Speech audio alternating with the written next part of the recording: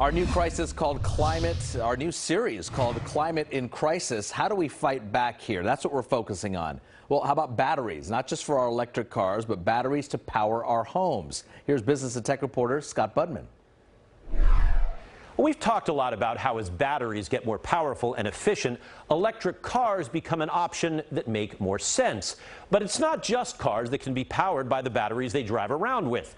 The idea of using a car to help power your house is something talked about a lot in Silicon Valley, but we haven't really seen it in action yet. And Lucid Motors wants to change that with its soon to be released first car called the Air. Lucid says with a few extra parts, this electric car can power your house when it's parked in the garage. I can charge my car in my home while the sun is up and my solar system is producing electrons. And then in the evening, I keep my car in the garage and now I feed back those electrons into my home and power my home appliances or the lighting.